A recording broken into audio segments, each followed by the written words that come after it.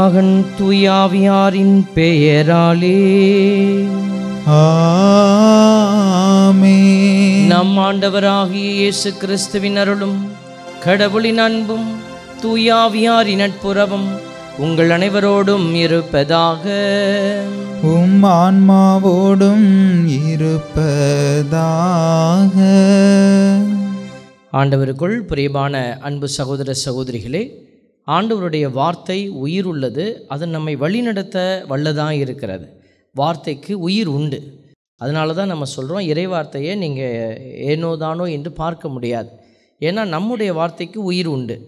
ஒரு இடத்தில் இருந்து கொண்டு நீங்கள் தூரத்தில் இருக்கிற ஒருவரை வசைமொழிகளாலோ அல்லது ஒரு கடினமான சொற்களை சொல்லுகிற போது எதிரணியில் இருப்பவர்களுடைய முகம் வாடுகிறது. குழந்தைகள் இருந்தால் அவர்கள் அழுவார்கள். நீங்கள் ஒரு ஆசிரியராக இருந்தீங்கன்னா முன்னாடி இருக்கக்கூடிய குழந்தையை நீங்கள் இப்படியாக சில கடினமான வார்த்தைகளை சொல்லி அவர்களை நீங்கள் நெறிப்படுத்தும் போது அவர்கள் கண்ணீர் விடுவார்கள். அப்படின்னு சொன்னால் அந்த வார்த்தைக்கு வல்லமை இருக்கிறது.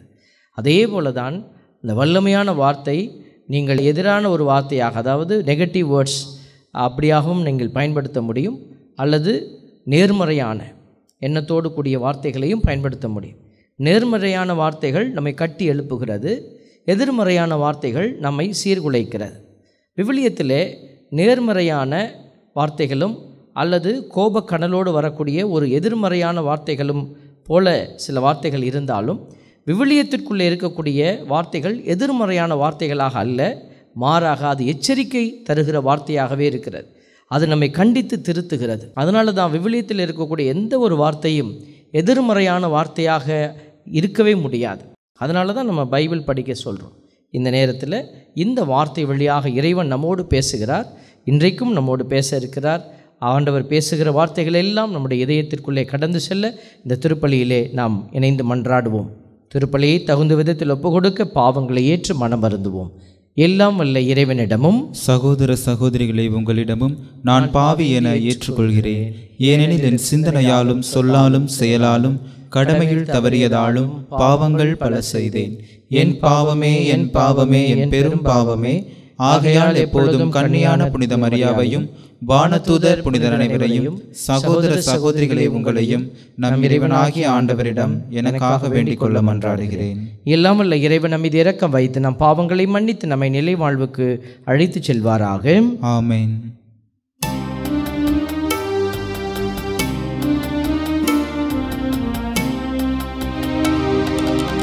ஆண்டவரே இரக்கமாயிரும். ஆண்டவரே இரக்கமாயிரும். கிறிஸ்துவே இரக்கமாயிரும். கிறிஸ்துவே இரக்கமாயிரும்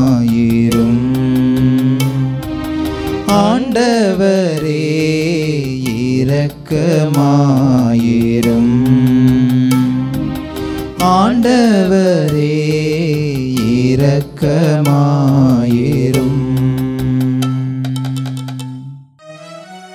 மன்றாடுவோமாக. இறைவா உமது பராமரிப்பின் திட்டம் ஒருபோதும் தவறுவதில்லை. அதனால் தீயவை அனைத்தையும் எங்களிடமிருந்து அகற்றி எமக்கு பயனளிக்கும் அனைத்தையும் கனிவுடன் தந்தருள் வீராக உமோடு துயாவியாரின் ஒன்றிப்பில் என்றென்று வாழ்ந்து ஆட்சி செய்கின்ற எங்கள் ஆண்டவராகிய கிறிஸ்து வழியாக உம்மை மன்றாடுகின்றோம்.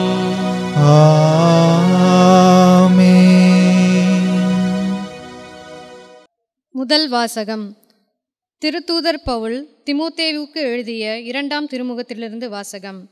அதிகாரம் நான்கு இறைவசனங்கள் ஒன்றிலிருந்து எட்டு வரை. அன்புக்குரியவரே கடவுள் முன்னிலையிலும் வாழ்வோருக்கும் இறந்தோருக்கும் தீர்ப்பு அளிக்கப் போகின்ற கிறிஸ்து இயேசு முன்னிலையிலும் அவர் தோன்றப் போவதை முன்னிட்டும் அவரது ஆளுகையை முன்னிட்டும் நான் ஆணையிட்டு கூறுவது. இறைவார்த்தையை அறிவி. வாய்ப்பு கிடைத்தாலும் கிடைக்காவிட்டாலும் இதை செய்வதில் நீ கருத்தாயிரு. கண்டித்து பேசு. கடிந்து கொள். அறிவுரை கூறு. மிகுந்த பொறுமையோடு கற்றுக்கொடு. ஒரு காலம் வரும். அப்போது மக்கள் நலத்தரும் போதனையை தாங்க மாட்டார்கள். மாறாக செவித்தினவு கொண்டவர்களாய் தங்கள் தீய நாட்டங்களுக்கேற்ப தங்களுக்கென போதகர்களை திரட்டிக்கொள்வார்கள் உண்மைக்கு செவிசாய்க்க மறுத்து புனைக்கதைகளை நாடிச் செல்வார்கள். நீயோ அனைத்திலும் அறிவு தெளிவோடிரு. துன்பத்தை ஏற்றுக்கொள். நற்செய்தியாளனின் பணியை ஆற்று. உன் திருத்தொண்டை முழுமையாகச் செய். ஏனெனில் நான் இப்போதே என்னை பலியாக படைக்கிறேன். நான் பிரிந்து செல்ல வேண்டிய நேரம் வந்துவிட்டது. நான் நல்லதோர் போராட்டத்தில் ஈடுபட்டேன். என் ஓட்டத்தை முடித்துவிட்டேன். விசுவாசத்தை காத்து கொண்டேன் இனி எனக்கென வைக்கப்பட்டிருப்பது நேரிய வாழ்வுக்கென வெற்றி வாகையே. அதை இறுதி நாளில் ஆண்டவர் எனக்கு தருவார். நீதியான அந்த நடுவர் எனக்கு மட்டுமல்ல. அவர் தோன்றுவார் என விரும்பி காத்திருக்கும் அனைவருக்குமே தருவார். இது ஆண்டவர் வழங்கும் அருள்வாக்கு. இறைவனுக்கு நன்றி.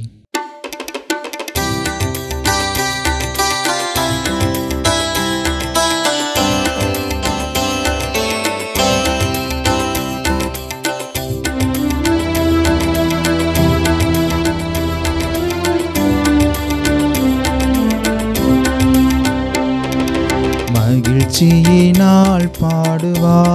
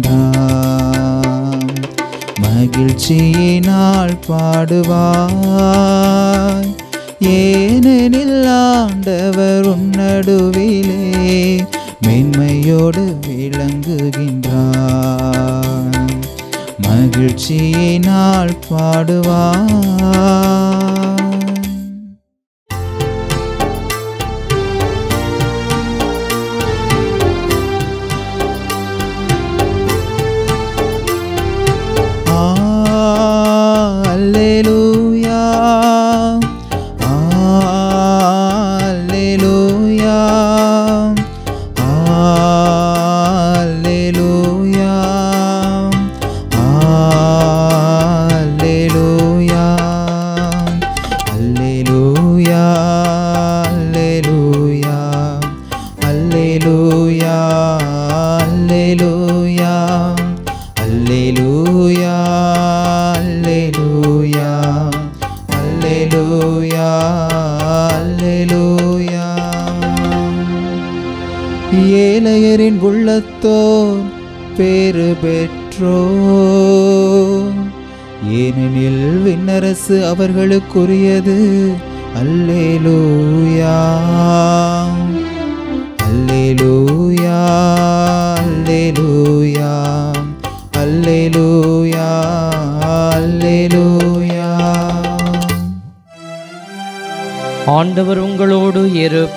இருப்பாராக உம் ஆன்மாவோடும் இருப்பாராக. மாற்கு எழுதிய தூய நற்செய்தியிலிருந்து வாசகம். ஆண்டவரே மாட்சி உமக்கே.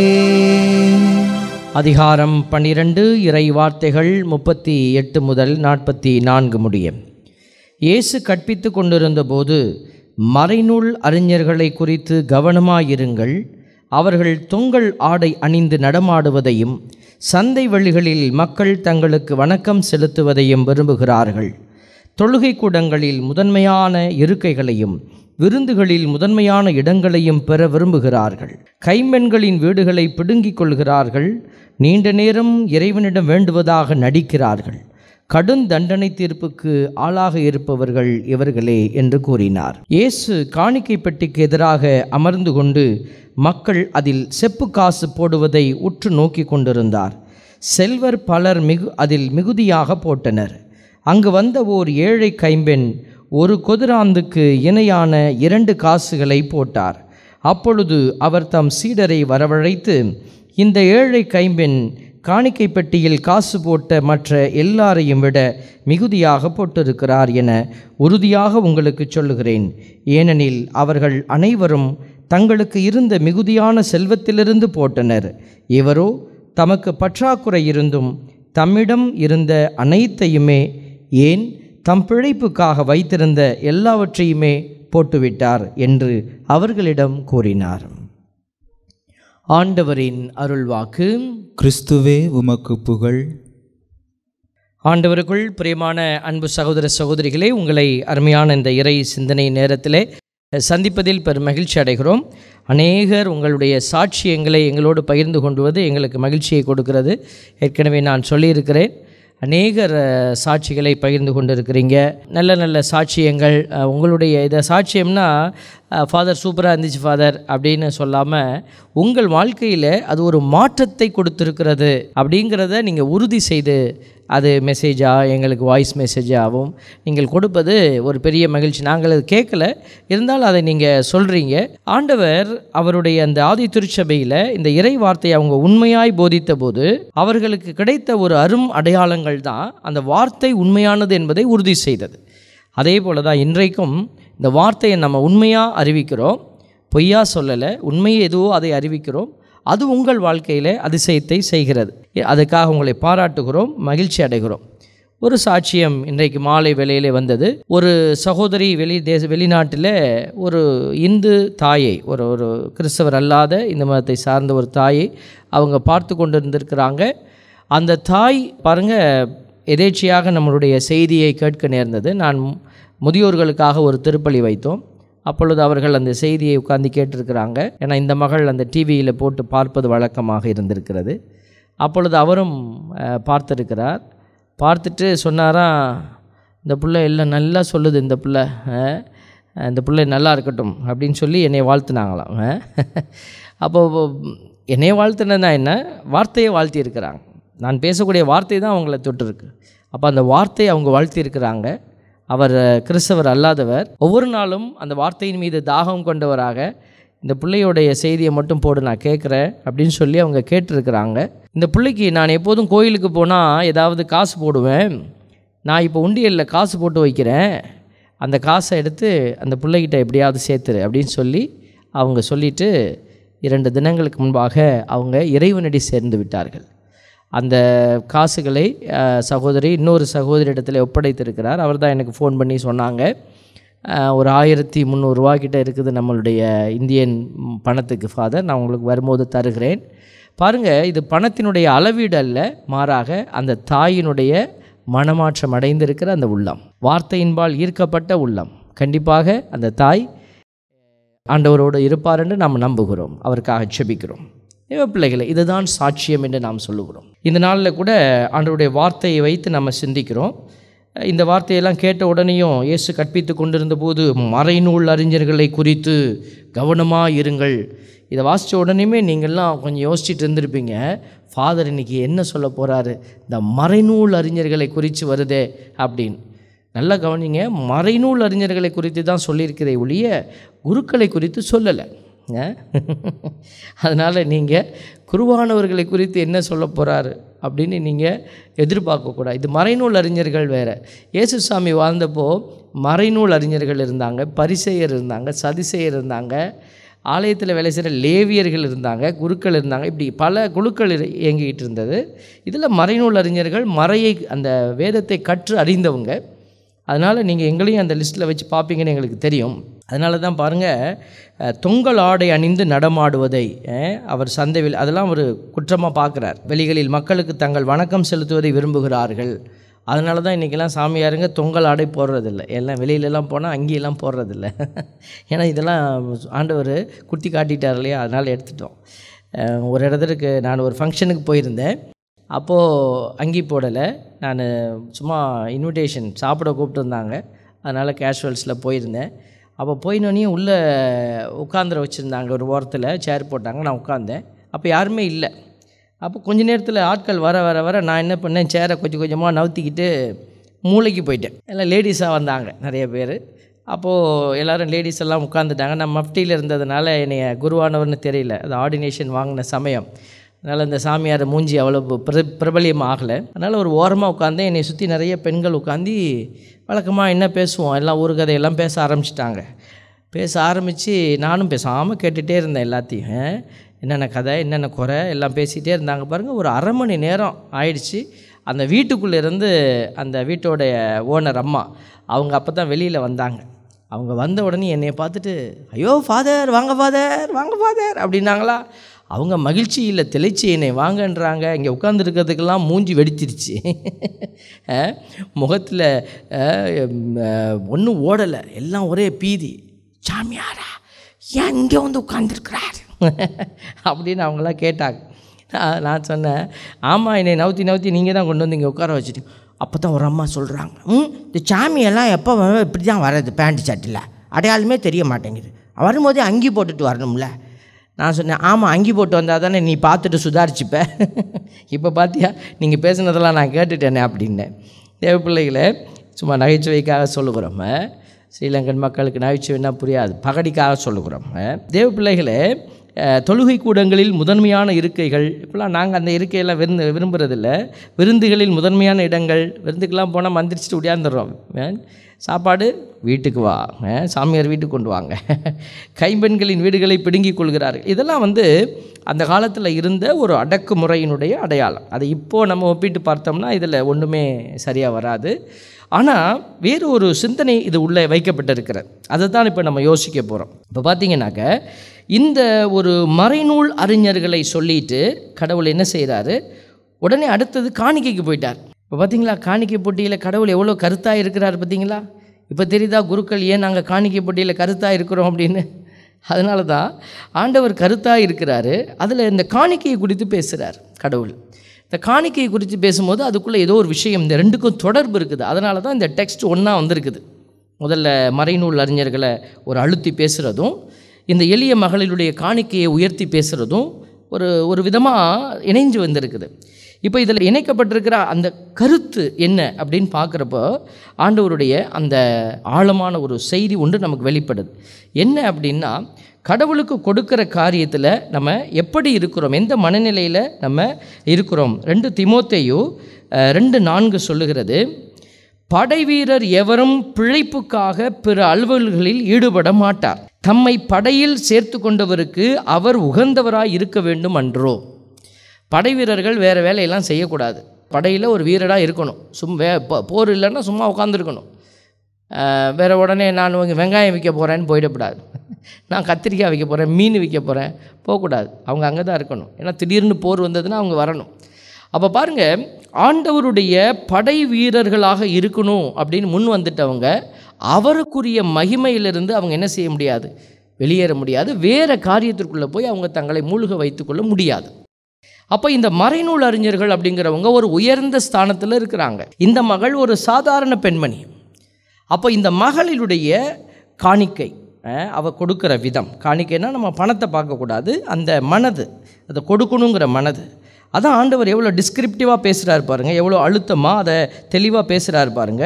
மற்ற எல்லாரையும் விட இவ தான் கூட போட்டிருக்கிறாங்க. இந்த அம்மா தங்களுக்கு இருந்த மிகுதியான செல்வத்திலிருந்து அவங்க போட்டாங்க. இவர் தமக்கு பற்றாக்குறை இருந்தும் தம்மிடம் இருந்த அனைத்தையுமே தன் ஏன் தம் பிழைப்புக்காக வைத்திருந்த எல்லாவற்றையுமே that is the source money அப்படின்னு சொல்லுவோம். சோர்ஸ் மணி நான் எப்போதுமே என்னுடைய பேங்க்கில் வந்து ஒரு ரிசர்வ் ஃபண்ட் வச்சுருப்பேன். ஏன்னா ஆபத்துனா ஏதாவது எடுக்கணும் அதை. அதனால் ஒரு இருபத்தஞ்சாயிரரூபா எப்போதும் ரிசர்வ் ஃபண்டில் வச்சுருப்பேன். அதை மாதிரி இந்த அம்மாவுடைய பிழைப்புக்காக வச்சுருக்கிற பேசிக் மணி அது. அடிப்படையான ஒரு தொகை. அதையே அவங்க போட்டு விட்டார் அப்படின்னு இயேசு எப்படி இதெல்லாம் கண்டுபிடிச்சார் தெரியல. ஆனால் அவர் அதை சொல்கிறார் அவர் அப்படியாக செய்திருக்கிறார். அது ஒப்பீடு நடக்கிறார் இந்த ஒரு மறைநூல் அறிஞர் அவருடைய நிறைவில் இருந்து அவர் எவ்வளோ உயர்ந்த ஸ்தானத்தில் கடவுள் வச்சிருக்கிறாரு இந்த தாய்க்கு கடவுள் கொடுத்துருக்கிற ஒரு நிலை ஒரு ஏழ்மை நிலை அந்த ஏழ்மை நிலையில் அவருடைய உள்ளம் எவ்வளோ உயர்ந்திருக்கிற போது மறைநூல் அறிஞர்களுடைய உள்ளம் எவ்வளவாய் உயர்ந்திருக்க வேண்டும் என்று ஆண்டவர் ஒப்பிட்டு காட்டுகிறார். இன்றைக்கி நாம் மறைநூல் அறிஞர்கள்னு ஒன்று உடனே நீங்கள் குருக்களை பார்த்துட்டு நீ உங்களுக்கு தான் இதுன்னு நீங்கள் ஒதுங்கிக்கக்கூடாது இந்த மறைநூலை வாசிக்கிற எல்லாருமே மறைநூல் அறிஞர் தான் நீங்களும். இன்றைக்கி நிறைய பேர் பைபிளை தூக்கிக்கிட்டு பிரசங்கம் வைக்கிறாங்க. எல்லாருமே மறைநூல் அறிஞர்கள். அப்போ நம்ம யோசிக்கணும். இந்த இடத்துலையும் வச்சு நம்ம யோசிக்கணும். அப்போ பார்த்தீங்கன்னா ரோமையர் பன்னிரெண்டு ஒன்றில் ஆண்டவர் சொல்கிறாரு சகோதர சகோதரிகளே கடவுளுடைய இரக்கத்தை முன்னிட்டு உங்களை வேண்டுகின்றேன். கடவுளுக்கு உகந்த தூய உயிருள்ள பலியாக உங்களை படையுங்கள். இதுவே நீங்கள் செய்யும் உள்ளார்ந்த வழிபாடு. இன்றைக்கி நம்ம வழிபாடு செய்வதற்காகத்தான் ஆலயங்கள் திறக்கணும் திறக்கணும் திறக்கணும்னு ஆசைப்பட்றோம். இந்த வழிபாடு இந்த இறை வசனத்தின்படி இருக்கிறதா? வாலிப பிள்ளைகள் இருக்கிறீங்க. கண்டிப்பாக நீங்கள் இந்த வசனத்தை நம்ம ஒப்பிட்டு பார்க்கணும். என்னுடைய வழிபாடு ஆண்டவருக்கு உகந்த உயிருள்ள அதனால தான் நம்ம சொல்கிறது ப்ரைஸ் லாட் தூங்குறவங்களாம் சொல்லுங்கள் அப்படிலாம் நான் சொல்லுவேன். அப்போ பார்த்தீங்கன்னா ஆத்மா தூங்கும். உடம்பு தூங்கலை. கண்ணு முழிச்சிட்டு தான் இருக்குது ஆனால் ஆத்மா தூங்கிடும். அப்போ ஆத்மா தூங்கிடுச்சுன்னா நீ எப்படி உயிருள்ள பலியாக உன்னை கொடுக்குறேன்னு சொல்ல முடியும். அதனால தான் பிசாசு என்ன செய்கிறான் நம்மளை ஏமாத்துறான். இந்த ஆத்மாவை உயிருள்ள ஆத்மாவை அவன் என்ன செய்கிறான் சாகடிக்கிறான். ஒரு ஆலயத்துக்கு நான் போயிருந்தேன். போய் பிரசங்கம் வைக்க கூப்பிட்டுருந்தாங்க. நான் பூசை வைக்கிறதுக்காக பிதாசுரம்லாம் போட்டுட்டு பிரசங்கம் ஆரம்பித்து ஒரு அஞ்சு நிமிஷம் தான் நான் பேசுகிறேன் அஞ்சு நிமிஷம் ஆயிடுச்சு பேசி. மக்கள் யாருமே கவனிக்கலை. நான் பேசுகிறது யாருமே கவனிக்கலை. எல்லோரும் ஒரு மாதிரி அஜிடேட்டடாக இருக்கிறாங்க. நான் சரி நகைச்சுவையை நடுவில் விடுவேன். ஏன்னா அவங்களுடைய அட்ராக்ஷனை வாங்குறதுக்காக. நகைச்சுவை சொல்கிறேன் பகடியை எல்லாம் சொல்லி பார்க்குறேன். அவங்க அப்படியும் அவங்க என்னுடைய கண்ட்ரோலுக்குள்ளே வரல. அந்த ஹோல் ஹோல் காங்கிரிகேஷனே அவுட் ஆஃப் ட்ராக்கில் நிற்கிது அப்போது எனக்கு ஒரு மனசு கஷ்டமாக போச்சு. மனசுக்குள்ளே ஆண்டவரே என்ன ஆண்டவரே நான் பேசுகிறேன் ஜோக்கு சொல்கிறேன் ஒரு பயிலும் சிரிக்க மாட்டேங்கிறான். நானும் என்ன செய்கிறது போராடி பார்க்குறேன். அஞ்சு நிமிஷத்தில் எனக்கு அப்படியே ஒரு மாதிரி மனசெல்லாம் கவலை ஆயிடுச்சு. இப்போ ஆண்டவர்கிட்ட ஒரு ஒரு ஒரு மனசில் இருக்கிறது அப்படி சொன்னேன் சொன்ன உடனே அவர் சொன்னார் ஆண்டவர் அப்படி சொல்லுவார் மனசுக்குள்ளே அப்படியே பேசுவார். ஆமேன்னு சொல்கிறா அப்படின்னார். ஆமேன்னு சொல்ல என்னடா திடீர்னு ஆமேன்னு சொல்ல சொல்கிறாரு அப்படின்ட்டு நான் ஆமேன். அப்படி சொல்லிட்டு இப்படி நின்று பாருங்க. உடனே பாட்டு கிளாஸில் வானமும் பூமியும் படைத்தவராம்னு. வானமும் பூமியும் விஸ்வாச அறிக்கை பாட ஆரம்பிச்சிட்டாங்க. அவங்க தான் தெரியாமல் பாடுறாங்கன்னு பார்த்தா ஹோல் காங்கிரிகேஷன் எந்திரிச்சு பாடுது. அஞ்சு நிமிஷம் தானே இந்த சாமியார் பிரசங்கம் வைக்க ஆரம்பித்தார் இன்னும் அஞ்சு நிமிஷம் கூட ஆகலையே ஏதோ சொல்லிக்கிட்டு இருந்தார். யாருக்கும் அந்த உணர்வே வரல. எல்லாரும் எந்திரிச்சு வானமும் பூமியும் நாங்கள் அப்போ தான் எனக்கு தெரிஞ்சிச்சு என் ஆண்டவர் என்னைய காப்பாற்றிட்டார் இல்லாட்டினா விழலுக்கு ரைத்த நீராய் மாறி போயிருக்கும் இப்போ பாருங்கள் அந்த கடவுளுக்கு உகந்த உயிருள்ள பலின்னு நம்ம சொல்லக்கூடிய வார்த்தையை நம்ம யாருக்கோ சொல்லிட்டு பார்க்கக்கூடாது. எனக்கு. பூசை வைக்கும்போது எங்களுக்கு சொல்லி கொடுத்தாங்க. That is the first mass and the last mass நீ வைக்கிற உப்பு பலி பூசை முதல் திருப்பலி அதுதான் முடிவு திருப்பலின்னு நினச்சிக்கோ. அப்படின்னு சொல்லி ஒரு சில கல்வெட்டுலலாம் இங்கே பீடத்திலே ஒட்டியிருப்பாங்க.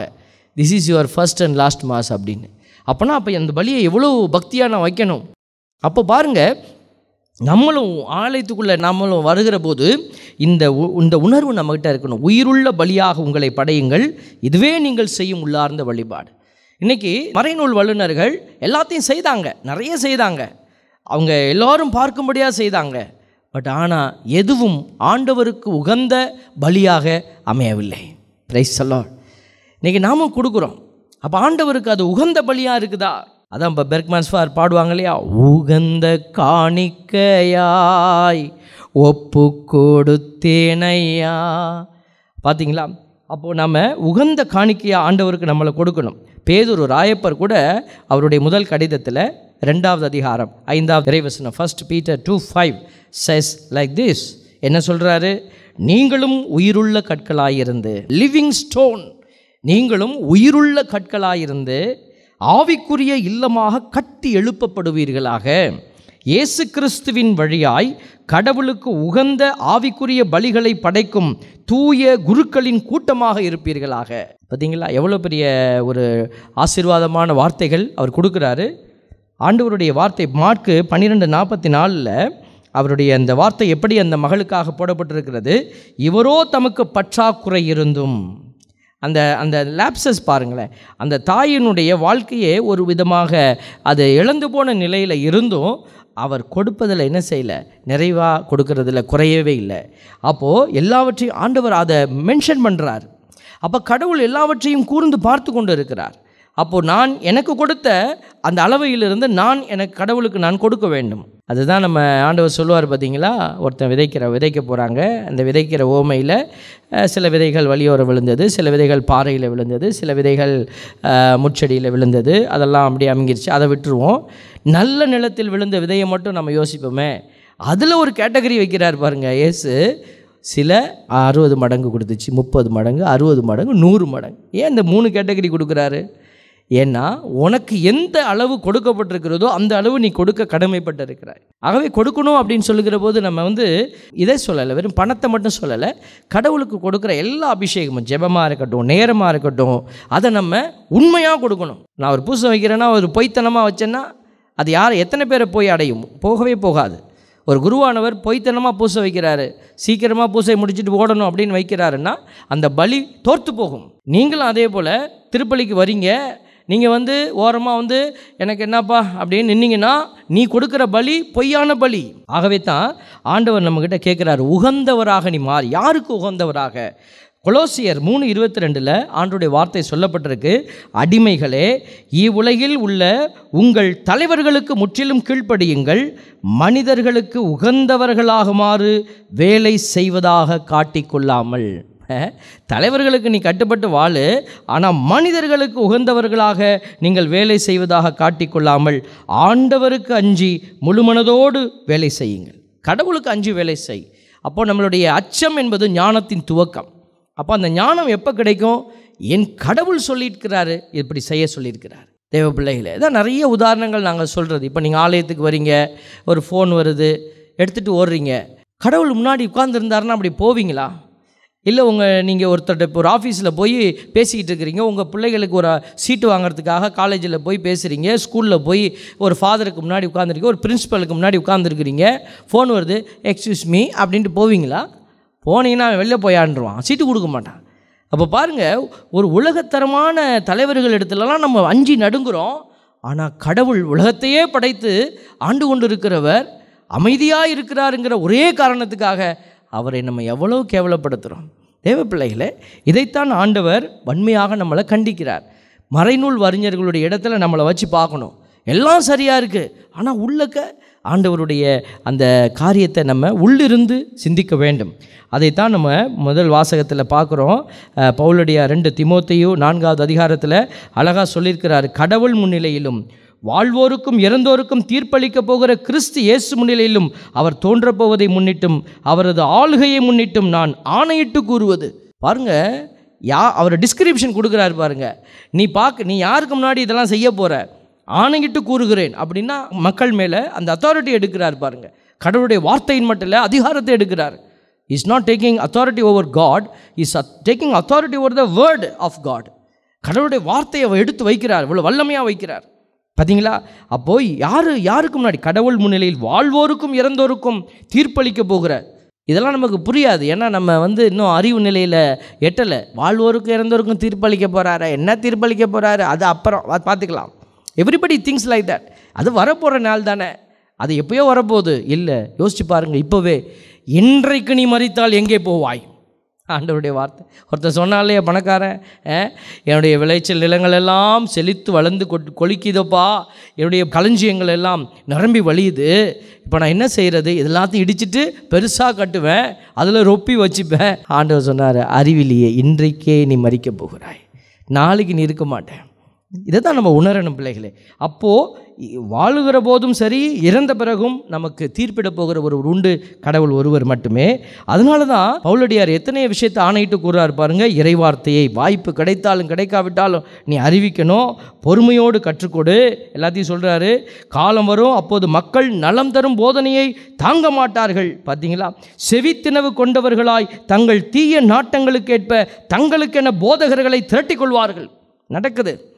எந்த வழிபாடும் நமக்கு சாதகமாக இருக்குது. நமக்கு பூசையில் போய் உட்காரணும். பூசையில் போய் உட்கார்ந்தா ட்ரையாக இருக்குதுங்க. பூசை இஸ் அ ட்ரை மாஸ் அப்படின்னு சொல்கிறோம் எஸ் இது ஒரு பாலைவன் அனுபவம். இதுக்குள்ளே நீ உட்கார முடியலன்னா நீ ஆண்டவருக்கு முன்னாடி நிற்க தகுதி இல்லாத பிள்ளையாக மாறிடுவேன் அப்போ என்ன செய்கிறோம் எந்த போ- போதகர் நமக்கு சாதகமாக பூச வைக்கிறாரு? யார் குதிச்சு குதிச்சு ஆடுறாங்க? தேவ பிள்ளைகளே அங்கே ஓடுறாங்க. ஓடி போங்க. எஸ் இங்கே போட்டிருக்கு பார்த்தீங்களா அப்போது திருப்பலியில் என்ன சாமியார் இப்போ எங்களுக்கு இந்த திருப்பலி புஸ்தகம் இருக்கிறது மிஸ்ஸல்னு சொல்லுவோம் இல்லையா? இதில் இருக்கிறத நாங்களே மாற்றக்கூடாது இட் இஸ் அன் ஆர்டர் கொஞ்ச நேரம் உட்காந்து யோசிச்சு பாருங்க பூமி தன்னைத்தானே சுற்றி கொண்டு சூரியனையும் சுற்றிது ஆர்டர் சூரியன் எப்படி உருவானது? ஆர்டர் எல்லா கோள்களும் சுற்றிக்கிட்டே இருக்குது சூரியனை ஆர்டர் இதை மாதிரி எத்தனை கேலக்ஸி இருக்குது? மில்லியன்ஸ்னு சொல்கிறாங்க everything is functioning it's in order everything is in order ஆனால் வழிபாடு மட்டும் we don't want any order யோசிச்சு பாருங்கள் அப்போ கடவுள் எவ்வளோ ஆர்டரில் இருக்கிறாரு? அப்போ நம்ம ஆண்டவருக்கு முன்னாடி நிற்கும் போது எப்படி ஆர்டராக நிற்கணும் அப்போ பூசைக்கு வருகிற போது உள்ளே எப்படி வரணும்? அதுக்கு தான் எழுதி வச்சிருக்கிறாங்க பூசையில் நம்ம மிசைலில். இந்த நேரம் நீ கையை அப்படி வைக்கணும் எழுந்திரிச்சு நிற்கணும் முன்னாடியெல்லாம் ஸ்பிரிச்சுவல் ஃபாதர்ஸ்லாம் சொல்லியிருக்கிறாங்க. சில வருடங்களுக்கு முன்பாக நம்மலாம் சின்ன பிள்ளையாக இருந்தப்போ அப்போல்லாம் வந்து இந்த கையை விரிக்கிறது கூட இப்போலாம் நாங்கள் இப்படி இப்படி விரிச்சிக்கிறோம் பெருசாக அப்போ கூட சொல்லுவாங்களாம் இந்த கையை இவ்வளோ தான் விரிக்கணும் they were an order they they followed the order இப்போ பாருங்கள் இந்த ஆர்டர் எல்லாம் இழந்துட்டு இன்னைக்கு நம்ம சமூகம் வந்து கடவுளை எப்படி வேணாலும் எடுத்துக்கலாம். No no no we can take like that அது மாதிரி எடுக்க முடியாது. என் அன்பு பிள்ளைகளே கடவுளுக்கு கொடுக்க வேண்டியதை கடவுள் கொடுக்கணும். ஒரு சகோதரர் இங்கே தான் தமிழ்நாட்டில் தான் அவர் கொஞ்சம் அவர் போட்டிருந்தார். பிள்ளைங்க ஈவினிங் ஆன உடனேயும் எல்லாரும் வீட்டை கூட்டுறாங்க. என் பிள்ளைங்க செய்கிறத பார்த்தா மகிழ்ச்சியாக இருக்குது ஃபாதர் நீங்கள் குழந்தைகளை வச்சுலாம் ப்ரோக்ராம் நடத்துனீங்க. அந்த குழந்தைகள்லாம் கையை தூக்கி ஜெபிக்கிறத என் பிள்ளைங்க பார்த்துட்டு இப்போ என் பிள்ளைங்கள்லாம் கையை தூக்கி ஜெபிக்கிறாங்க. நான் சொல்லிக் கொடுக்கல அவங்களே ஜெபிக்கிறாங்க. சாயந்தரம் ஆனால் அவங்க என்ன செய்கிறாங்க வீட்டை கூட்டுறாங்க. ஒருத்தர் கேண்டில் கொளுத்தி வைக்கிறாங்க. ஒருத்தர் பாய் போடுறாங்க. ஜெப புத்தகத்தை எடுத்து வைக்கிறாங்க. பார்க்குறதுக்கே சந்தோஷமாக இருக்குது brother this is the change இதுதான் வெற்றி. இதுதான் பிள்ளைகளுடைய உள்ளத்தில் ஆவியானவர் பேசுகிறாரு தேவ பிள்ளைகளை இதுதான் உண்மையான ஒரு மன ஒரு ஒரு எழுச்சியினுடைய அடையாளம். தேவ பிள்ளைகள் இது ஆண்டவர் செய்கிறார் பாருங்களேன். ஆகவே ஆண்டவர் சொல்கிறார் பாருங்க நீயோ அனைத்திலும் அறிவு தெளிவோடு பார்த்தீங்களா அறிவு தெளிவோடுரு துன்பத்தை ஏற்றுக்கொள். நாலாவது இறைவசனம் விட்டுட்டேன். உண்மைக்கு செவிசாய்க்க மறுத்து புனைக்கதைகளை நாடி செல்வார்கள். அங்கே ஜோசியம் பார்க்குறாங்க இங்கே ஜோசியம் பார்க்குறாங்க அந்த ஜோசியக்கார்ட்ட போனால் அப்படியே சொல்கிறார் சாமி. ஆமாம் அப்படியே சொல்லுவார் அவரும் நரகத்துக்கு போவார் ஒன்னையும் கூட்டிகிட்டு போயிடுவார். தேவ பிள்ளைகளே எல்லாம் சரியாக இருப்பது போல் தெரியும். பைபிள் சொல்லுது ஒரு சில விஷயங்கள் சரியாக தான் இருக்கும் ஆனால் முடிவு not going to be right முடிவு சரியாக இருக்க போதில்லை இன்றைக்கி நிறைய ஆன்மீக விடுதலைவாதிகள்னு சொல்லிட்டு நிறைய பேர் உட்கார்ந்துருக்குறாங்க. இன்றைக்கி அவங்க செய்யக்கூடிய காரியங்கள் எல்லாம் பின்னாடி புதைக்கப்படுகிறது. அநீதியான காரியங்கள். நம்முடைய திருச்சபையில் எவ்வளோ நல்ல காரியங்கள். அதில் ஏதாவது ஒரு அநீதியான காரியங்கள் நடக்கிறதா நமக்கு எங்கேயாவது செய்தி வருதா? எல்லாம் வாழ்க்கையை இழந்துக்கிட்டு தான் இருக்கிறாங்க நன்மை செய்கிறவங்க ஆனால் அங்கே இருக்கிறவங்க பலருடைய வாழ்க்கையை அவங்க எடுத்துட்டு அவங்க வாழ்ந்து கொண்டு இருக்கிறாங்க இதெல்லாம் கண்டுபிடிக்கணும் நீங்கள் தேவ பிள்ளைகள் ஆறாவது இறைவசனம் சொல்கிறாரு பாருங்கள் நான் இப்போது என்னை பலியாக படைக்கிறேன். பார்த்தீங்களா இதுதான். பலியாக படைக்கிறேன். இதுதான் ஆண்டவருடைய வார்த்தை இதுதான் ஆண்டவருடைய ஊழியர்கள் செய்யக்கூடிய காரியம். தேவ பிள்ளைகளே இப்படியாக நம்ம நிறைய பேசிக்கொண்டே இருக்கலாம். ஆண்டவருடைய வார்த்தைக்காக இந்த நன்மைக்காக நீங்கள் முயற்சி செய்கிற போது நன்மைத்தனங்களை நீங்கள் உங்களுக்குரிய காரியமாய் மாற்றிக்கொள்கிற போது துன்பங்கள் உண்டு துயரங்கள் உண்டு. பேதுரடிகளார் அதுக்கு தான் சொல்கிறாரு குற்றம் செய்ததற்காக நீங்கள் அடிக்கப்படும் போது பொறுமையோடு இருப்பதில் என்ன சிறப்பு? குற்றம் செய்துட்டு அடிவாங்கன்னா மாறாக நன்மை செய்தும் அதற்காக பொறுமையோடு துன்புற்றால் அது கடவுளுக்கு உகந்ததாகும். அதே பேதர் சொல்கிறாரு ஒன்று பேதர் ரெண்டு பத்தொம்போதில் ஒருவர் அநியாயமாக து துயருறும்போது கடவுளை மனதில் கொண்டு நல்லா பாருங்க கடவுளை மனத்தில் கொண்டு அதை பொறுமையோடு ஏற்றுக்கொள்வாரானால் அதுவே அவருக்கு உகந்ததாகும். ஃபுல்டன் ஷீன் அப்படிங்கிற ஒரு பேராயர் இருந்தார். அவர் சொல்கிறாரு much of the graces are wasted in the hospitals அப்படிங்கிறார். என்ன சொல்கிறாரு இதிலிருந்துன்னா ஆஸ்பத்திரியில் நிறைய ஆசீர்வாதம் வேஸ்ட் ஆகுதுங்கிறார். நமக்கு வரக்கூடிய உடல் வியாதிகள் அல்லது வீட்டு பிரச்சனைகள் மனிதர்களால் வரக்கூடிய வியாதி இது எல்லாம் நீ என்ன செய்யலாம்னா ஆசீர்வாதமாக அப்படியே உருட்டி உன் பேங்கில் வச்சிடலாம். அவங்க பேசும்போது நீ பதில் சொல்லக்கூடாது. உன் வீட்டில் யாராவது ஒருத்தர் மொசரக்கட்டையை பாரு ஓ மொசரக்கட்டை ஒழுங்காக இருக்கா? அப்படி பேசக்கூடாது. அவங்க ஆனாவனாவில் சொன்னாங்கன்னா நம்ம காஞ்சாச்சாவில் சொல்லக்கூடாது வரிஞ்சு கட்டிக்கிட்டு பேசக்கூடாது. ஏன்னா you you tit for tat நீ கண்ணுக்கு கண் பல்லுக்கு பல் கொடுத்துட்ட. Everything is settled here nothing is stored there ஆண்டவர்கிட்ட எதுவுமே ஸ்டோர் ஆகலை. அவங்க பேசுகிறாங்களா உன்னை குற்றப்படுத்துகிறாங்களா நீ ஏற்றுக்கொள்ளுங்க. எஸ் தேங்க்யூ ஓகே நான் அப்படி இல்லை அப்படின்னு நீங்கள் மறுக்க வேண்டிய இடத்துல மறுக்கணும். அதுக்காக எல்லா இடத்துலையும் தலையதில் ஆட்டி வரக்கூடாது. மறுக்கணும். அதுக்கு திரு- திருப்பி நம்ம என்ன செய்ய வேண்டாம்? எதிர் அணியில் இருந்து நம்ம போராட தேவையில்லை. அதை நீங்கள் ஆண்டவர்கிட்ட ஒப்பு கொடுத்துட்டிங்கன்னா போதும். ஆண்டவர் என்ன செய்கிறாரு அதை பல மடங்கு ஆசீர்வாதமாக உனக்கு கொடுப்பார். தேவை பிள்ளைகளே அந்த நேரம் நம்ம பதிலுக்கு பதில் பேசியிருக்கலாம். நான் அமைதியாக இருந்தேன். ஆண்டவர் இப்போ நம்ம வழியாக பேசுகிறார் அப்படி நம்ம செய்யக்கூடிய அந்த தியாகங்கள் யாருக்கும் தெரியாமல் இருக்கலாம். ஆனால் ஆண்டவர் அதை அறிகிறவராக இருக்கிறார். அதனால தான் ராயப்பர் சொல்கிறார் பேதுரு சொல்கிறாரு ஆண்டவருக்கு அது உகந்த காரியமாக அது மாற முடியும். ரெண்டு திமோத்தி மூன்றில் சொல்லுது ஒரு காலம் வரும் அப்போது மக்கள் நலம் தரும் போதனையை தாங்க மாட்டார்கள். பார்த்தீங்களா? செவித்தினவு கொண்டவர்களாய் தீய நாட்டங்களுக்கேற்ப தங்களுக்கென போதகர்களை தேடி ஓடிக்கொள்வார்கள். அப்படின்னா நமக்கு தேவையானதை தேடி ஓடுவோம். ஆனால் வேதம் சொல்லுகிறது இதுதான். பேதுரு சொல்லுகிறார் இப்படித்தான் நீ உன்னுடைய வாழ்க்கையை அமைத்து கொள்ள வேண்டும். பவுலடியார் இப்படி தான் சொல்கிறார் உன்னுடைய வாழ்க்கையை அமைத்து கொள்ள வேண்டும். இவர்கள் சொல்லக்கூடிய அந்த வார்த்தையை நீங்கள் உள்ளத்தில் தாங்கி வாழ்ந்து கொண்டு இருக்கிறீங்க நிறைய பேர் உங்களுடைய குடும்பத்தில் சாட்சிகளாக ஓடிக்கொண்டிருக்கிறீங்க எங்களுக்கு தெரியும். உங்கள் குடும்பத்தில் என்ன பிரச்சனை இருக்குது? நிறைய பேர் உங்களுடைய கவலைகளை எங்களோடு பகிர்ந்து கொள்கிறீங்க எங்களுக்கும் பதில் சொல்ல முடியாது. உடனே நான் ஜெபிக்கிற ஆண்டவர் எல்லாம் மாற்றி போடுவார் எங்களால் சொல்ல முடியாது. ஆண்டவருக்குள்ளே நாம் இணைந்து ஜெபிப்போம் என்று நாங்கள் சொல்லுகிறோம். கடவுள் கண்டிப்பாக அப்படிப்பட்ட பிள்ளைகளை எல்லாம் உயர்த்துவார். இதோ என் அன்பு சகோதரனே சகோதரியே ஆண்டவர் எப்போதும் ஒப்பிட்டு பார்க்கிறார். ஆண்டவர் எல்லாத்தையும் அப்படியே எடுத்துகிட்டு போக மாட்டார். ஒப்பீடு செய்து பார்க்கிறார். இந்த ஒப்பீடுக்கு நாம் உகந்தவர்களாக இருக்கிறோமா? சிந்திப்போம். இந்த நாட்களில் பிள்ளைகள் இருக்கிறாங்க வாலிப பிள்ளைகள் இருக்கிறாங்க பெரியவர்கள் இருக்கிறீங்க. நம்ம எல்லோரும் ஆண்டவருக்கு மாட்சி அளிக்கிற போது குடும்பமாய் சேர்ந்து மாட்சி அளிக்கிற போது அந்த குடும்பத்தின் மட்டில் இறைவன் இரக்கமாய் இருந்து ஆசீர்வாதங்களை நிறைவாய் பொழிவார். இந்த நாளில் தொடர்ந்து ஜெபிப்போம். ஆண்டவருக்கு உகந்தவர்களாக மனிதருக்கு அல்ல ஆண்டவருக்கு உகந்தவராக வாழ பெலன் கேட்டு மன்றாடுவோம். ஆமீன்.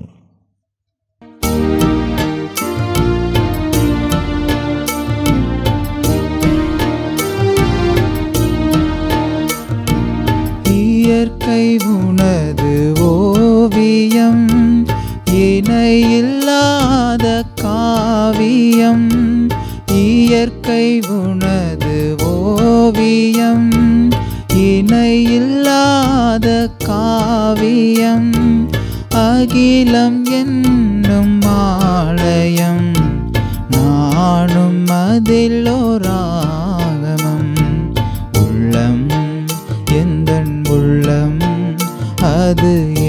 ஆளும் உன் இல்லமே உள்ளம் எந்தன் உள்ளம்? அது என்னாலும் உன் இல்லமே படைப்பு எல்லாம் உமக்கே சொந்தம்.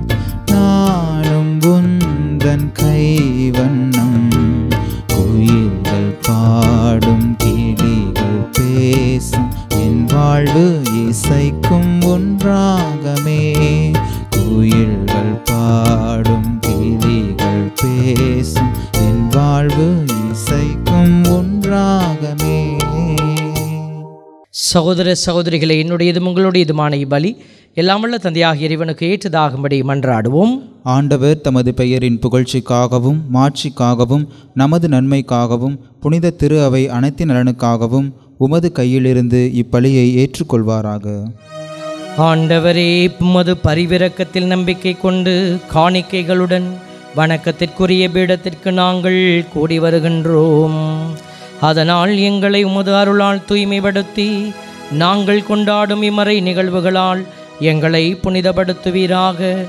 எங்கள் ஆண்டவராகிய கிறிஸ்து வழியாக உம்மை மன்றாடுகிறோம். ஆமே ஆண்டவர் உங்களோடு இருப்பாராக. உம் ஆன்மாவோடும் இருப்பாராக. இதயங்களை மேலே எழுப்புங்கள். ஆண்டவரிடம் எழுப்பியுள்ளோ நம் இறைவனாகிய ஆண்டவருக்கு நன்றி கூறுவோம். அது தகுதியும் நீதியும் ஆனதே. ஆண்டவரே தூயவரான தந்தையே என்று முலையெல்லாம் வல்ல இறைவா. எங்கள் ஆண்டவராகிய கிறிஸ்து வழியாக எந்நாளும் இவ்விடத்திலும் நாங்கள் உமக்கு நன்றி செலுத்துவது மெய்யாகவே தகுதியும் நீதியும் ஆகும். எங்கள் கடமையும் மீட்புக்குரிய செயலுமாகும். தவறிழைத்த எங்கள் மீது கிறிஸ்து இரக்கம் கொண்டு கன்னிமரியாவிடமிருந்து பிறக்க திருவுளமானார். சிலுவையில் பாடுபட்டு முடிவில்லா சாவிலிருந்து எங்களை விடுவித்தார்.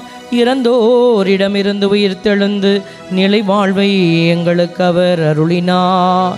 ஆகவே வானதூதர் முதன்மை வானதூதரோடும் அரியணையில் அமர்வோர் தலைமை தாங்குபவரோடும் வான்படைகளின் அணிகள் அனைத்தோடும் சேர்ந்து நாங்களும் உமது மாட்சியை புகழ்ந்து முடிவின்றி பாடுவதாவது.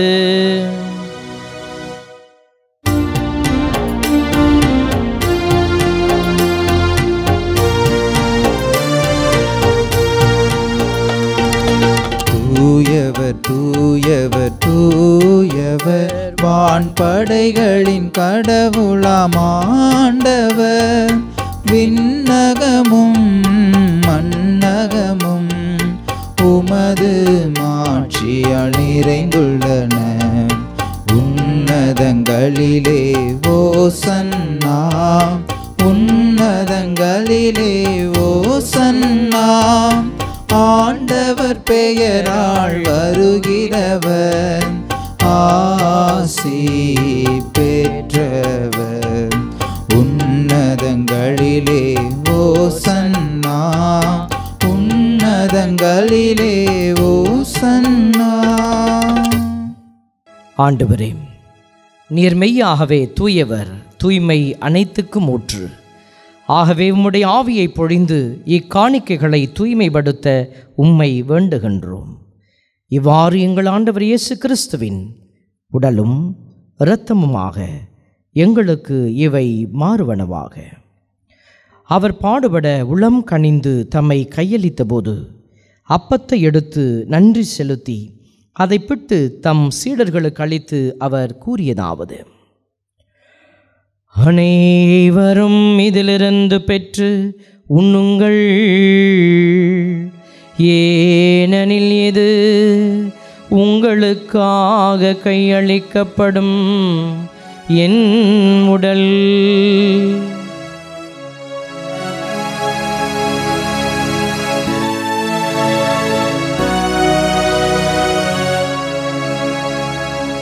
அவனமே இரவு விருந்தை அருந்திய பின் கிண்ணத்தையும் எடுத்து மீண்டும் உமக்கு நன்றி கூறி தம் சீடர்களுக்கு அளித்து அவர் கூறியதாவது. அனைவரும் இதிலிருந்து பெற்று பருகுங்கள். ஏனெனில் இது புதிய நிலையான உடன்படிக்கைக்குரிய என் இரத்தத்தின் கிண்ணம். இது பாவ மன்னிப்புக்கென்று உங்களுக்காகவும் பலருக்காகவும் சிந்தப்படும். இதை என் நினைவாக செய்யுங்கள்.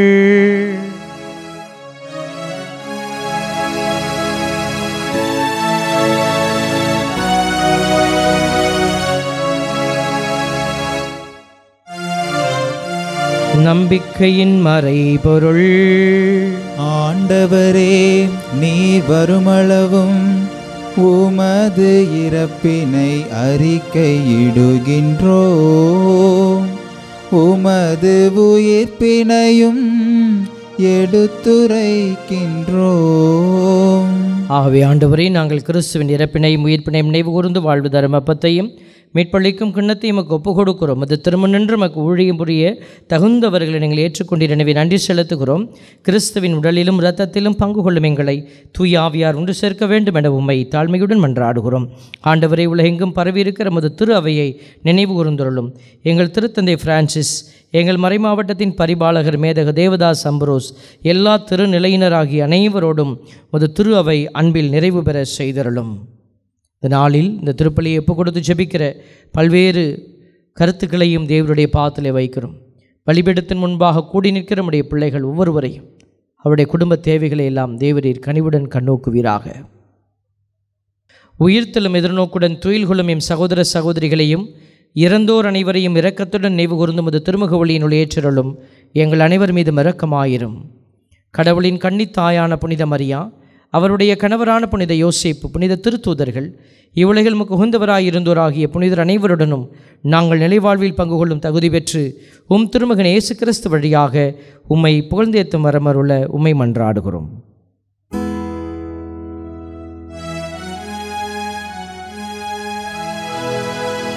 இவர் வழியாக இவரோடு இவரில் எல்லாம் வல்ல இறைவனாகிய தந்தையே தூயாவியாரின் ஒன்றிப்பில் எல்லா புகழும் ஆட்சியும் என்றென்றும் உமக்கு உரியதே. ஆமென் ஆமே ஆ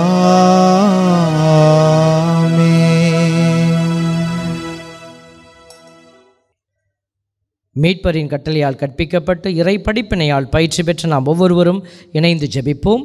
விண்ணுலகில் இருக்கிற எங்கள் தந்தையே உமது பெயர் தூயது என போற்ற பெறுக உமது ஆட்சி வருக. உமது திருவுளம் விண்ணுலகில் நிறைவேறுவது போல மண்ணுலகிலும் நிறைவேறுக. எங்கள் அன்றாட உணவை இன்று எங்களுக்கு தாரும். எங்களுக்கு எதிராக குற்றம் செய்வோரை நாங்கள் மன்னிப்பது போல எங்கள் குற்றங்களை மன்னியும். எங்களை சோதனைக்கு உட்படுத்தாதேயும் தீமையிலிருந்து எங்களை விடுவித்தருளும். ஆண்டவரே தீமை அனைத்திலுமிருந்தும் எங்களை விடுவித்து எங்கள் வாழ்நாளில் அமைதியை கனிவுடன் அருளும் எமன்றாடுகிறோம் முந்தைய இரக்கத்தின் உதவியால் நாங்கள் பாவத்திலிருந்து எப்போதும் விடுதலை பெற்று யாதொரு கலக்கமும் இன்றி நலமாயிருப்போமாக நாங்கள் எதிர்நோக்கி இருக்கும் பேரின்பத்திற்காகவும் மீட்பராகிய இயேசுவின் வருகைக்காகவும் காத்திருக்கின்றோம். ஏனெனில் ஆட்சியும் வல்லமையும் மாட்சியும் என்றென்றும் உமதே. ஆண்டவரே இயேசு கிறிஸ்துவே அமைதியை உங்களுக்கு விட்டுச் செல்கிறேன். என் அமைதியையே உங்களுக்கு அளிக்கிறேன் என்று உம் திரு தூதர்களுக்கு மொழிந்தீரே. எங்கள் பாவங்களை பாராமல் முது திரு அவையின் நம்பிக்கையை கண்ணோக்கி முது திருவுளத்திற்கு கேட்பதற்கு அமைதியும் ஒற்றுமையும் அளித்தருள்வீராக. என்றென்றும் வாழ்ந்து ஆட்சி செய்கின்றவர் நீரே. ஆண்டவருடைய அமைதி உங்களோடு என்றும் இருப்பதாக. உம் ஆன்மாவோடும் இருப்பதாக. ஒருவருக்கொருவர் அமைதியை பகிர்ந்து கொள்வோம். சமாதானம். சமாதானம். உலகின் பாவங்களை போக்கும் இறைவனின் செம்மறியே எங்கள் மேல் இரக்கமாயிரும். உலகின் பாவங்களை போக்கும் இறைவனின் செம்மறியே எங்கள் மேல் இரக்கமாயிரும். உலகின் பாவங்களை போக்கும் இறைவனின் செம்மறியே எங்களுக்கு அமைதியை அளித்தருளும்.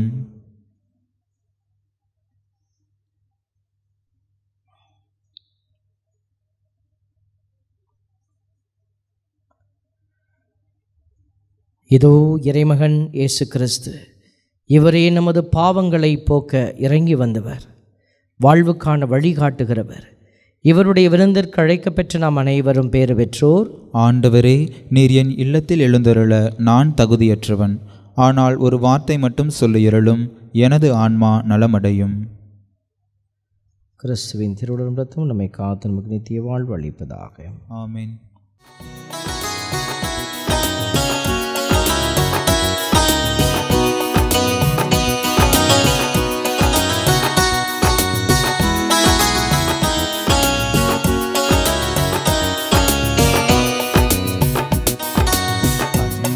என்ற நதி மீது படகாகு. அறியாத பேரின்ப கரை சேர்க்கும். அன்பென்ற வில்லின் முன் இலக்காக. அகமெங்கும் படிந்துள்ள குறை நீக்கும். அகமெங்கும் படிந்துள்ள குறை நீக்கும். அன்பென்ற நதி மீது படகாகு. அறியாத பேரின்ப கரை சேர்க்கும். அன்பென்ற வில்லின் முன் இலக்காக. அகமெங்கும் படிந்துள்ள குறை நீக்கும். ஆண்டவருக்குள் பிரியமான அன்பு சகோதர சகோதரிகளே இதோ ஆண்டவருடைய அன்பு பிரசன்னம். அந்த உண்மையான ஒரு பிரசன்னம் நம்மை முழுவதுமாய் ஆட்கொண்டு இருக்கிற ஒரு அபிஷேகமான நேரத்திலே அவரோடு கூட நாம் சற்று உறவாட இருக்கிறோம். ஆண்டவருடைய வார்த்தையை நம்ம கேட்டோம். மறைநூல் அறிஞர்களை கடவுள் பாருங்க அந்த எளிய ஒரு கைமண்ணோடு கூட ஒப்பிட்டு காட்டுகிறார். இதில் கடவுளுடைய அந்த அபிஷேகம் பகிரப்பட்டது மறைநூல் அறிஞர்களுக்கு உயர்வாய் கொடுக்கப்பட்டது. ஆனால் அவர்கள் கடவுளுக்கு கொடுக்க வேண்டியதை மக்களுடையமிருந்து கிடைக்கக்கூடிய அந்த ஒரு ஆழ்ந்த நிலையில் இருக்கிற அந்த ஒரு மரியாதைக்காக அவர்களுடைய மிகப்பெரிய மகத்துவத்தை எல்லாம் அவங்க கீழே வச்சிட்டாங்க. ஒரு தாய் தன்னிடத்தில் இருந்த ஒரு அடிப்படை காரியத்தை கடவுளுடைய மகிமைக்காக கொடுக்குறார். இதுதான் கடவுள் நமக்கு ஒப்பிட்டு காட்டுறார் நம்மையும் பல வேலைகளில் கடவுள் நிறைய ஆசீர்வாதத்தோடு படைச்சிருக்கிறார். ஆனால் நம்மளுடைய எண்ணம் எல்லாம் எப்படி இருக்குன்னா நம்மகிட்ட ஒன்றுமே இல்லை நம்ம கீழே இருக்கிறோம். அப்போ அந்த நிறைவை காண முடியாத பிள்ளைகள் எல்லாம் என்ன செய்கிறாங்க? மனிதர்களிடத்தில் தங்களுடைய பெருமையை தேடி ஓடுறாங்க. உலகத்துக்குள்ளே தங்களை புதைத்து கொள்ளுகிறாங்க. ஆண்டவர் கொடுத்த மகிமையை அவருக்கு மீண்டும் கொடுக்க அவங்களால முடியல. நாமும் பல வேலையில் இப்படியாக இந்த மறைநூல் அறிஞர்களைப் போல இருந்திருக்கிறோம். கடவுளுடைய மகத்தான மகிமை நமக்கு எவ்வளவு கொடுக்கப்பட்டிருக்கிறது. அதை அறிய முடியாத நேரம். இதோ இயேசு கூட வருவார். நீ அப்படியாக அதை அறிந்து செயல்படுத்துகிற போது உனக்கு துன்பங்கள் வந்திருக்கலாம் துயரங்கள் வரலாம். அதனால் நம்ம என்ன செய்யலாம்? ஓடி போய் ஒளிஞ்சிக்கலாம். அதனால தான் பேதர் சொல்கிறார் நன்மை செய்து துன்புறு. அதுதான் கடவுளுக்கு உகந்தது. தீமை செய்து அல்லது ஒன்றுமே செய்யாமல் நீ துன்பப்படுறது கடவுளுக்கு உகந்தது அல்ல. ஆகவே ஆண்டவர் இதோ நமக்கு பலன் தரார். யாரோடு கூட வருவார் கடவுள்? கடவுளுடைய மகிமையை எவன் உணர்ந்து அதை வைத்து கடவுளை மகிமைப்படுத்துகிறானோ? தாளந்தை புதைத்து வைத்து கொண்டவனை குறித்து கடவுள் பெருமையாக பேசலை. தாளந்தை எடுத்து பயன்படுத்துகிறவர்கள் தான் வேதத்திலே அவர்கள் உயர்வாய் குறிப்பிடப்படுகிறார்கள். தேவ பிள்ளைகளே ஒரு விசை இந்த பாடல் வழியாக இயேசு உன் கூட வருவார். எல்லாவித அற்புதம் செய்வார். சிந்தனையோடு ஆண்டவருக்குள்ளே நாம் கடந்து செல்வோம்.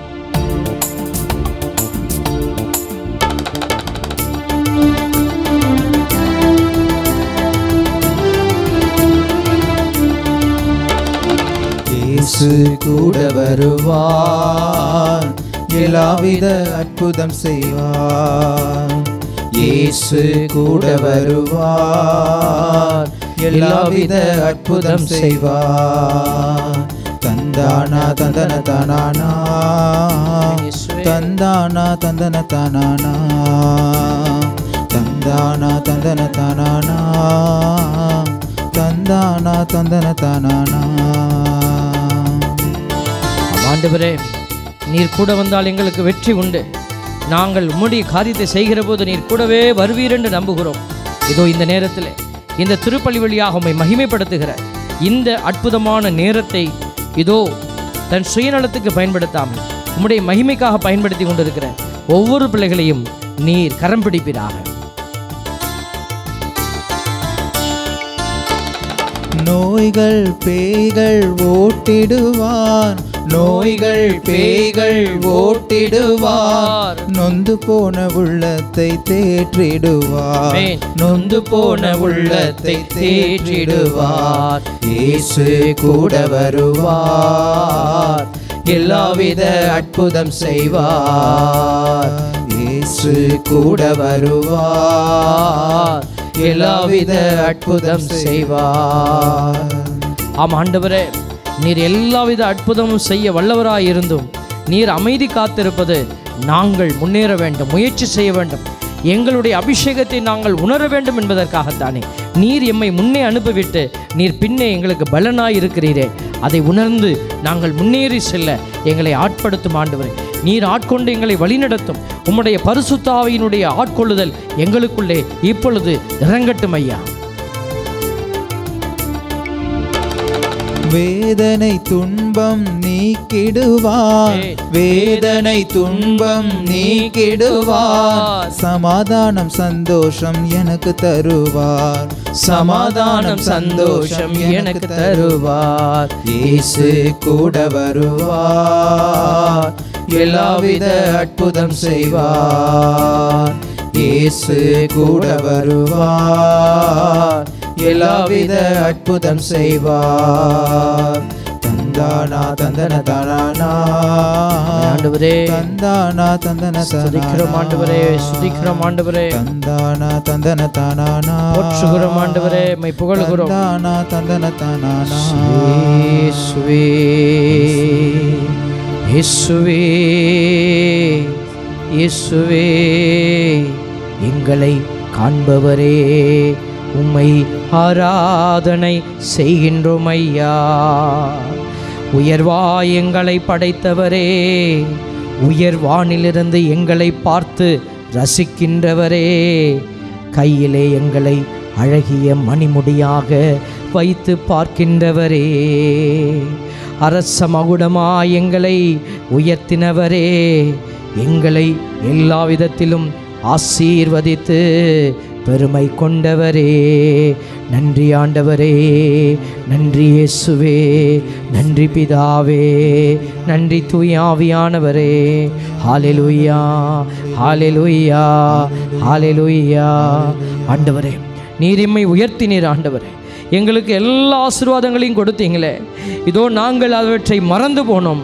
எங்களிடத்தில் நீர் கொடுத்திருக்கிற ஆசீர்வாதங்கள். இது நீர் கொடுத்த உன்னதமான அன்பிலிருந்து வந்தது என்பதை அதிக மறந்தோம் ஆண்டவரே. அதை நாங்கள் உலகத்தினுடைய வேதனைகளுக்குள்ளே போட்டு பல வேளைகளிலே நாங்கள் அதை மாசுபடுத்தி இருக்கிறோம். ஆண்டவரே மீண்டுமாய் எங்களை உடைய திருமுன் நாங்கள் புதுப்பித்துக்கொள்ள ஆசைப்படுகிறோம்.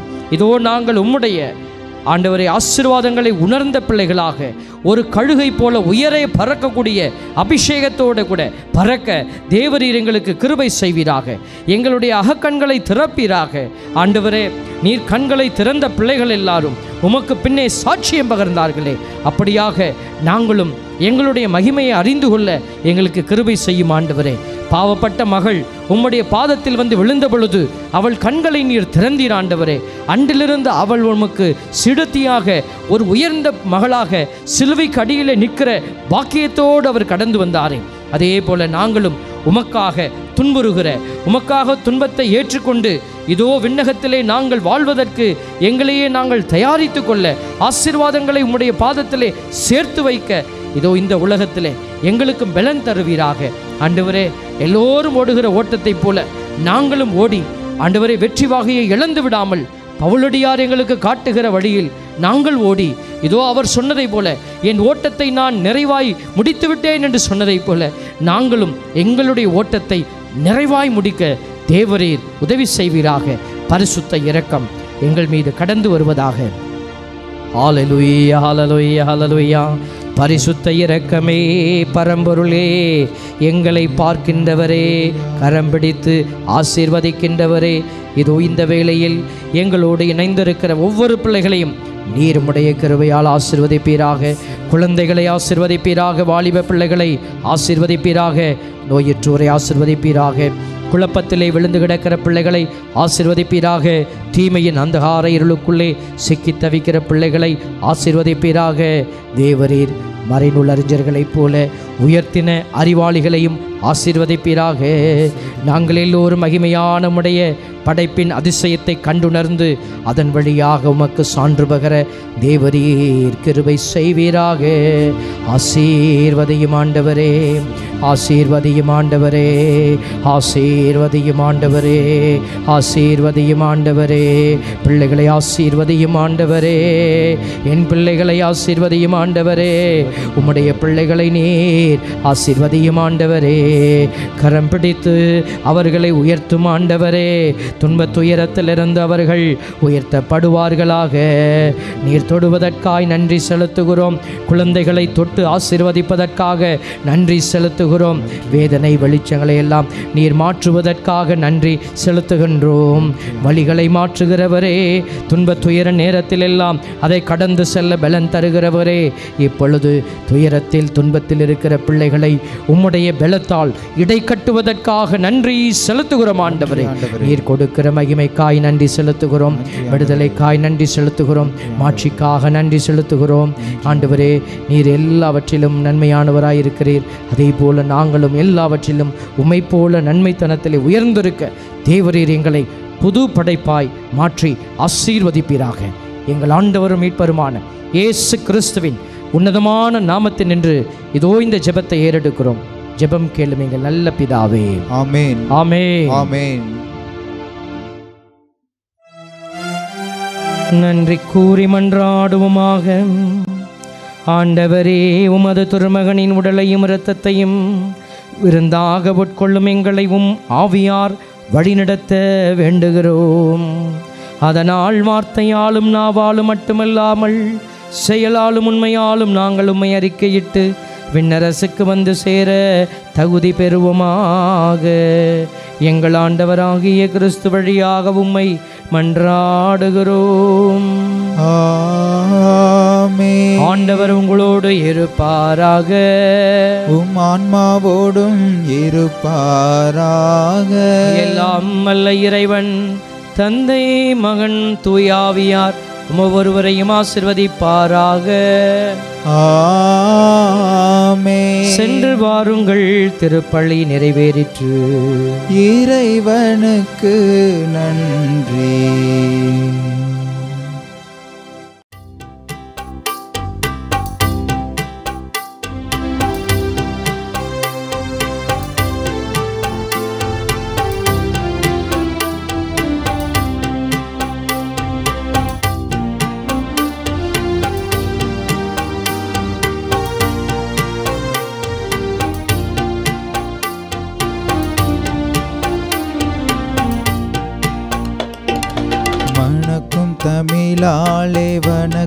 வணக்கம் அம்மா எழில் மலர்ந்திடும் இசையாளே வணக்கம் அம்மா வணக்கம் தமிழாலே வணக்கம் அம்மா எழில் மலர்ந்திடும் இசையாளே வணக்கம் அம்மா நினைக்கும் என் நினைவாளே கோவிக்கும் என் கரத்தாலே தித்திக்கும் காவியமாய் தேவனை சுமந்தவளே.